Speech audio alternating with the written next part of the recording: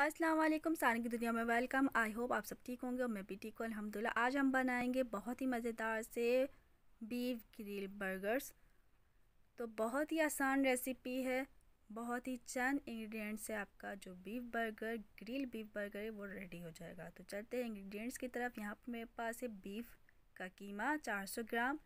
इसको अच्छी तरह वॉश कर लीजिए और ड्राई भी कर लीजिए अच्छी तरह से। इसमें बिल्कुल भी पानी नहीं होना चाहिए। और हम कुछ मसाले इसमें शामिल करेंगे।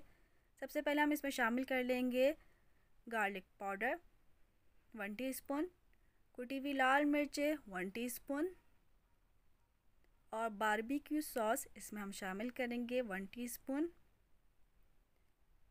और यहाँ पे मेरे पास घी है हाफ़ टेबल स्पून शामिल कर देंगे।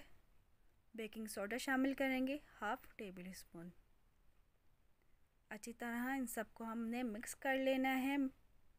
मिक्स करने के बाद हम इसको कवर कर देंगे रैपिंग शीट से और एक घंटे के लिए रख देंगे मैरिनेट करने के लिए, ताकि जो हमने इसमें मसाले शामिल किए हैं वो अच्छी तरह इसमें जज्ब हो जाए।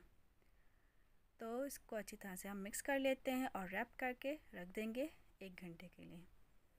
जब तक कि मैरिनेट हो रहा है तो हम यहाँ पे सॉस तैयार कर लेते हैं। दो तरह के सॉस तैयार करूँगी।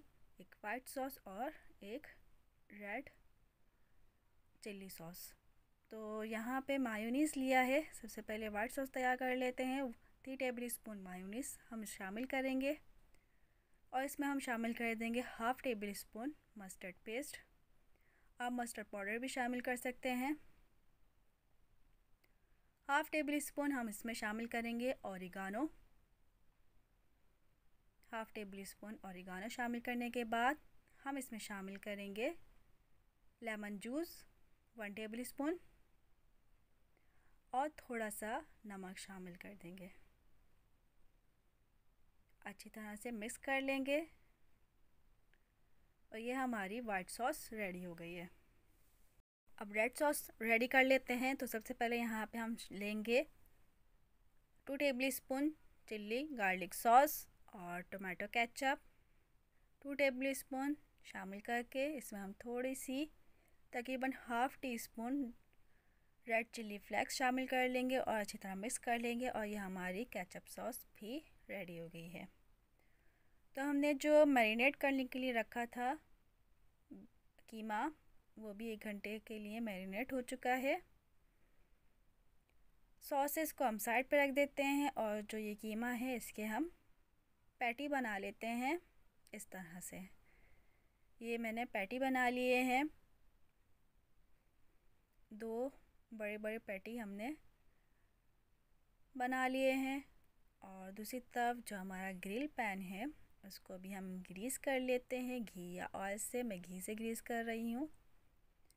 और जो पैन है, उसको गर्म कर लेते हैं। थोड़ा सा हल्का गरम, लो फ्लेम पे रख देंगे। जब थोड़ा पैन हमारा गर्म हो जाएगा तो हम इसमें ये जो पैटी हमने बनाए हैं, वो फ्राई करेंगे। तो तीन मिनट के लिए ये नीचे वाली हम साइड फ्राई करेंगे, कुक करेंगे और जब तीन मिनट हो जाएँगे तो ऊपर हम ये सॉल्ट और थोड़ा थोड़ा सा ब्लैक पेपर स्प्रेड कर देंगे दोनों पैटीज़ पर। इस तरह से। और इसके बाद हमने जो नीचे वाली साइड है, वो चेंज कर लेनी है। और ऊपर वाली साइड को हम पाँच मिनट के लिए कुक करेंगे अब। तो इस तरह से हमने साइडें जो हैं, वो चेंज करने के बाद जो तीन मिनट हमने साइड ऊपर वाली कुक की थी, उसके ऊपर भी थोड़ा थोड़ा सा सॉल्ट और ब्लैक पेपर स्प्रेड कर देंगे। इस तरह से। और जब पाँच मिनट नीचे वाली साइड को हो जाएँगे तो दो मिनट के लिए और कुक करेंगे इस ऊपर वाली साइड को जिसको हमने तीन मिनट के लिए कुक किया था। तो बस हमारे जो ये जो बर्गर पैटीज़ हैं, वो रेडी हो चुके हैं। साइड चेंज कर लेते हैं। साइड चेंज करने के बाद हम इसके ऊपर रख देंगे बर्गर स्लाइसिस मेरे पास बर्गर के slices and cheese burger slices तो ये हो गए हैं हमारे patties cook burger cheese slices इस तरह से हमने ऊपर रख देने हैं गरम गरम पेटीज पर। और दूसरी तरफ़ जो हमारे पास बर्गर बंस हैं, उनको भी हम थोड़ा सा रोस्ट कर लेते हैं। हमारे बर्गर्स गर्म हो जाएँगे तो हम नीचे वाली साइड जो बर्गर की होती है, उसके ऊपर स्प्रेड कर देंगे। जो हमने सॉस तैयार की थी रेड सॉस केचप और चिल्ली गार्लिक सॉस की, इस तरह से स्प्रेड कर देंगे हर तरफ़। और आपके पास अगर कैबेज है तो आप कैबेज ले लीजिए, या सलाद पत्ता है तो आप वो भी यूज़ कर सकते हैं। मैं यहाँ पे कैबेज यूज़ कर रही हूँ। कैबेज की जो पतली पतली साइड्स होती हैं, उनको मैं यूज़ करूँगी और उसके ऊपर एक अदद टोमेटो रिंग कट किया हुआ और ये पैटी हमने इसके ऊपर रख देना है। आप जिस तरह चाहें अपना बर्गर रेडी कर सकते हैं गार्निश कर सकते हैं अपने सैलड्स के मुताबिक। तो ये रिंग कट की हुई आनियन है और ककम्बर है। दो से तीन अदद स्लाइसेस कट किए हुए और उसके ऊपर हम शामिल कर देंगे white sauce one tablespoon के करीब वाइट सॉस इस पे ऊपर स्प्रेड कर दीजिए. और जो ऊपर वाली साइड होती है बर्गर की, उसके ऊपर भी हम स्प्रेड कर देंगे टोमेटो केचप सॉस ये हमारा बर्गर रेडी हो गया है. तो अब हम इसको सर्व कर लेते हैं.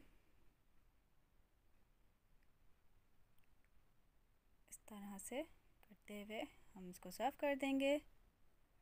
ये लीजिए। रेडी हो गया हमारा बीफ ग्रिल बर्गर बहुत ही इजी रेसिपी ज़रूर ट्राई कीजिएगा और मुझे फीडबैक भी ज़रूर दीजिएगा।